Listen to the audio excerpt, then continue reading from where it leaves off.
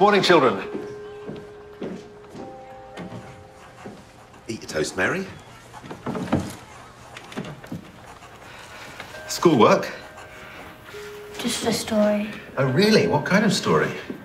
A knight battling a dragon. Ah, to protect his kingdom, or perhaps rescue his one true love from its evil clutches. No. He just likes killing dragons.